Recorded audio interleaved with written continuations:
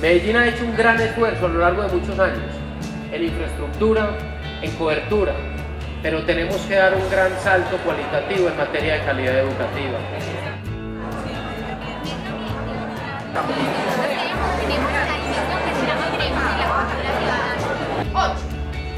Ocho, nueve. Nueve, listo. El señor Jorge Restrepo. Y desarrollar públicas en la población indígena, que no los tenemos en cuenta. Pero vamos paso a paso y las metas que nos vamos a poner las vamos a cumplir